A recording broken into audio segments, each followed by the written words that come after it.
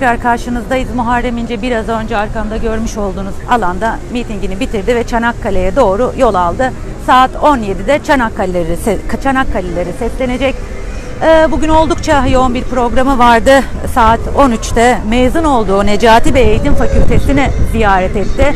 Fakültenin bahçesinde arkadaşları onunla birlikte aynı dönemde okuyan okul arkadaşları sonrasında Kısacası e, Necati Bey Eğitim Fakültesi'nin bütün mezunları neredeyse e, Muharrem İnce'ye destek vermek için okulun bahçesindeydi. Bir e, konuşma yapmadı, e, özel bir konuşma yapmadı daha doğrusu İnce burada. Sadece okul arkadaşlarımı yanıma istiyorum dedi ve fakültenin merdivenlerinde hep birlikte bir fotoğraf çektirdiler. Ve gelen okul arkadaşlarının çoğunun elinde e, diploması vardı. Muharrem İnce de burada e, okumuş olduğu, mezun olmuş olduğu okulun bahçesinde e, diplomasını da basınla paylaştı ve benim diplomam var dedi. Bunun altını çizdim. Hemen sonrasında e, saat 14'te gerçekleştireceği e, miting alanına doğru yola çıktı ve Balıkesir Kuvayi Milliye Meydanı'nda halka seslendi. E, satır başları nelerdi peki bugün e, İnce Balıkesir'de neler söyledi seçmenlere? Onlara kısaca değinelim. Otomobil e, tartışmalarına değindi. Sen e, kaportasına talipsin, ben beynine dedi. E, Recep Tayyip Erdoğan'a gönderme yaptı burada. Ee, bazılarının 18 yaşında üniversite e, kapılarında, kapısında, merdivenlerinde fotoğrafı yok ama benim var dedi. Ve yine diploma vurgusu yaptı burada İnce. Ee, mezun olduğu kenteydi İnce, biraz önce de aktardım ve mezun olduğu okulu ziyaret etti. Ee, özellikle mezun olduğu kente eğitime vurgu yaptı ve eğitimde yapacaklarını, vaatlerini tek tek sıraladı. Neydi bunlar? Eğitimi parasız yapacağız dedi.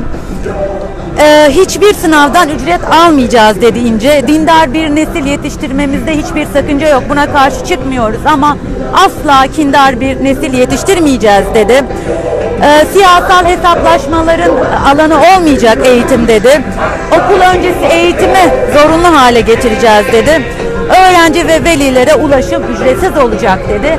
En önemli vurgularından biri de belki köy okullarıydı köy okulları yeniden açılacak, kapa, kapatılan köy okulları yeniden açılacak dedi. 24 Kasım'da birer maaş ikramiye vereceğiz dedi öğretmenlere. Sözleşmeli ve ücretli öğretmenlik uygulamasını kaldıracağız dedi. Notlarıma bakmaya devam ediyorum ve e, gençlere seslendi. Hiçbiriniz benim dönemimde tarikat yurtlarına muhtaç olmayacaksınız dedi. Yükü kaldıracağız dedi. 10 bin öğrenciyi her sene yurt dışında eğitime göndereceğiz dedi. Rektörlük, e, se, e, rektörler yeniden seçimle iş başına gelecek dedi.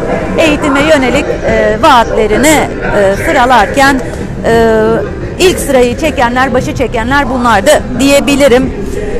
Ee, sözlerine şu şekilde devam etti. Ben e, insanları Türk, Kürt, Alevi, Sunni, e, e sağcı, soldu, e, AKP'li, CHP'li diye ayırmıyorum.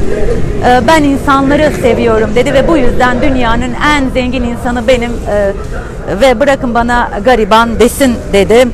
E, CHP'nin cami e, yıktığını, e, yıktığı iddialarına da yanıt verdi. Tamamen yalandır dedi.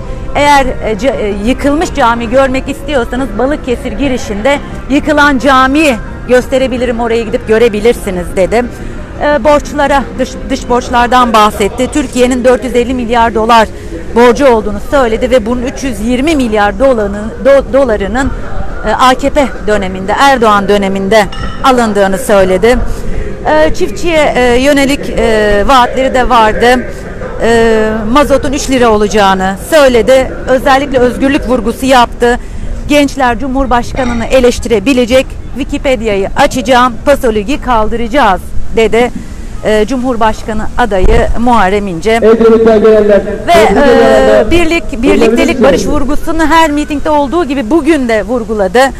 E, barışacağız, adil bölüşeceğiz, ekonomik olarak büyüyeceğiz dedi ve hedefimiz Avrupa Birliği dedi. E, yönetim e, hedefimiz Avrupa Birliği ve bunu demokrasiyle gerçekleştireceğiz dedi. Güçlü, lider, liyakatlı bir ekip olarak yolumuza devam edeceğiz dedi İnce. Ben fabrika diyorum, o AVM diyor. Ben gençlere gelecek diyorum. O ise meydanlardan tezek diyor dedi. E, 16 e, senedir vekilim dedi. E, Sizi sarayda ağırlamayacağım diye espri yaptı. Muharrem e, Muharrem İnce seçmene seslenirken e, esprili bir dil kullanmaktan hiç geri kalmıyor ve bunu neredeyse bütün mitinglerinde yapıyor. Bugün de sizleri sarayda ağırlamayacağım çünkü sarayda yaşamayacağım dedi. 16 senedir vekilim, 14 sene kirada oturdum. Evim zaten benim için saray gibi onu terk etmeyi düşünmüyorum dedi. Devlet için Çankaya Köşkü'ne gideceğim ve devlet işlerini oradan yürüteceğim dedi. Se, e, mitinge gelenlerle birlikte neredeyse geleneksel hale getirdiği şeyi yaptı yine. Selfie çekti ve karanfiller e, dağıtarak miting alanını terk etti.